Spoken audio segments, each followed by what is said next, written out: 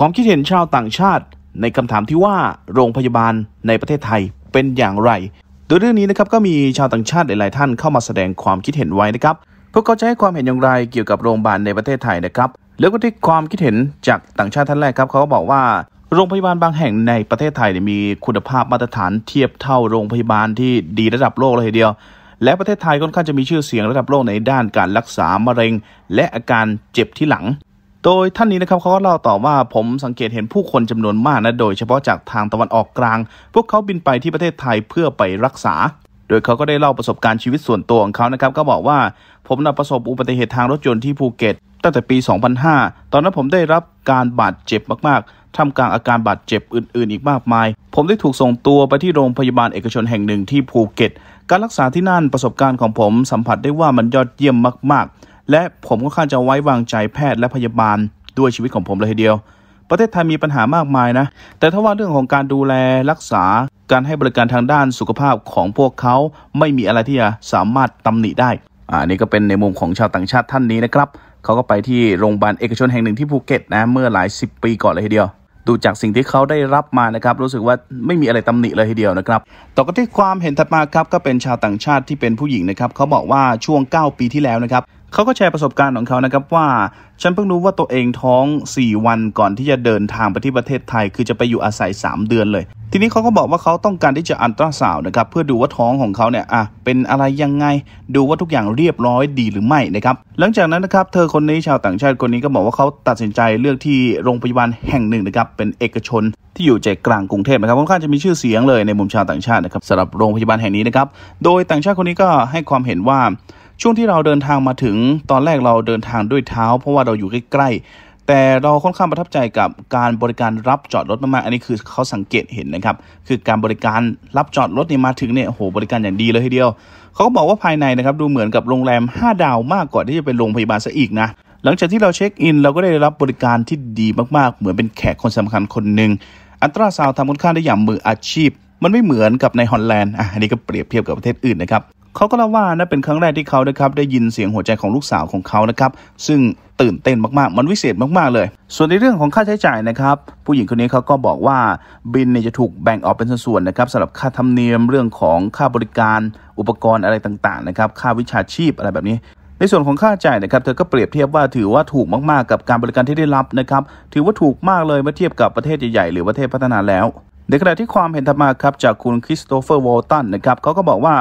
โรงพยาบาลในกลุ่มโรงพยาบาลเอกชนในประเทศไทย มีราคาที่ค่อนข้างจะใกล้เคียงกับโรงพยาบาลเอกชนในสหราชอาณาจักรอยู่นะ แต่ถ้าว่าที่ประเทศไทยพวกเขามีสิ่งอำนวยความสะดวก และการแพทย์ที่ยอดเยี่ยม แต่ผมคิดว่าการประกันน่าจะมีการคิดราคาที่แพงเกินไปสำหรับชาวต่างชาติอะอันนี้ก็เป็นอีกความเห็นมุมหนึ่งนะครับ โดยท่านนี้นะครับก็แชร์ในมุมมองของเขานะครับอะก็ถือว่าดูหลาย ๆ มุมมองแล้วกัน ท่านนี้ก็บอกว่า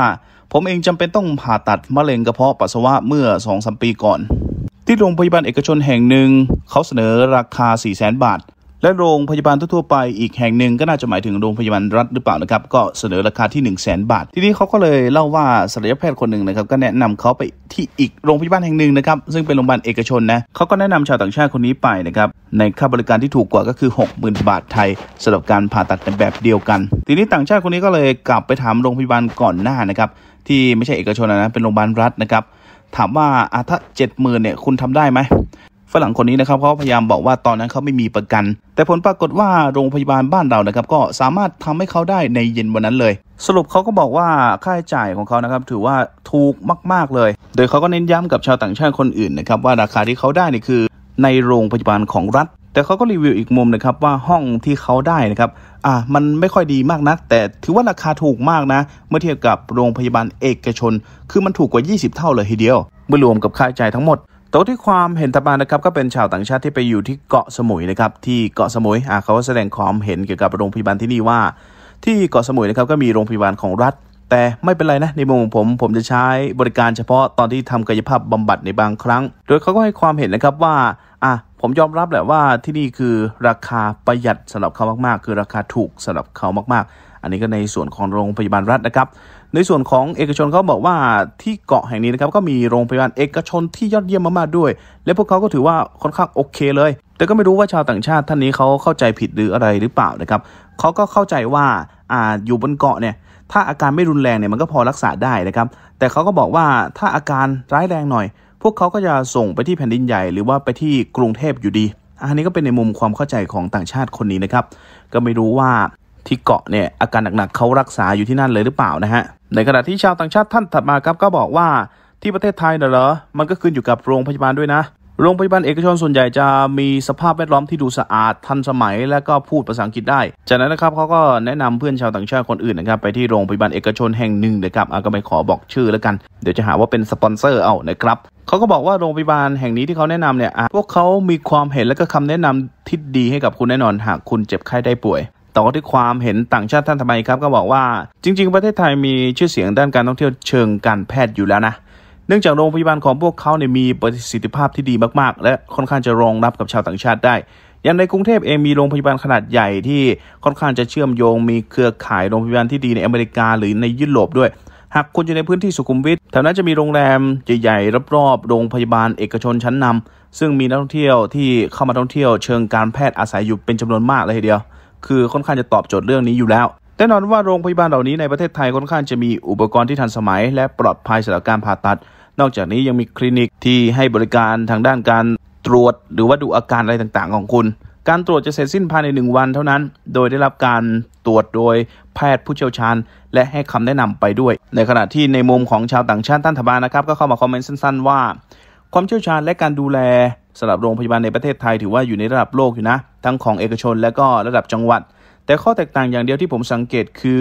ที่พักในโรงพยาบาลถ้าเป็นโรงพยาบาลในต่างจังหวัด ก็จะค่อนข้างเก่าหน่อย แต่ค่าบริการก็จะถูกกว่า อันนี้น่าจะหมายถึงห้องพักหรือเปล่าในมุมของเขาน่าจะหมายถึงห้องพักรับรองอะไรแบบนี้นะครับต่อที่ความเห็นต่างชาติท่านต่อมานะครับการรีวิวที่พัทยานะครับเขาบอกว่า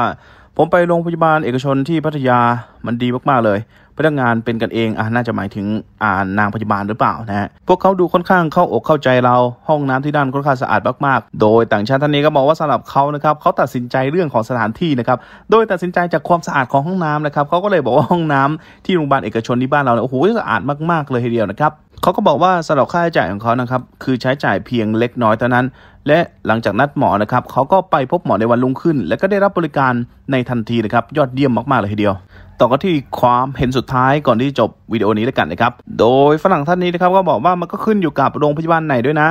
อย่างของผมเป็นโรงพยาบาลเอกชนที่อยู่ในพัทยา ที่นี่ไม่ต่างจากโรงแรม 3 ดาวเลยผมรู้สึกว่าห้องพักค่อนข้างจะให้ความเป็นส่วนตัวมาก ๆ พนักงานค่อนข้างจะเอาใจใส่ สะอาด บรรยากาศดีพอสมควร แม้ว่าจะไม่มีใครอยากจะไปอยู่ที่โรงพยาบาลหรอกนะ แต่ผมรู้สึกว่ามันเป็นประสบการณ์ที่น่าร่มรื่นมากๆ กับการได้อยู่โรงพยาบาลแบบนี้ แม้ว่าราคาอาจจะไม่ได้ถูกอะไรมากมาย และอาจจะแพงกว่าที่พวกเขาเคยเสนอให้กับคนอื่น แต่ผมค่อนข้างจะรู้สึกโอเค กับโรงพยาบาลที่เมืองไทยมากๆและนี่ก็เป็น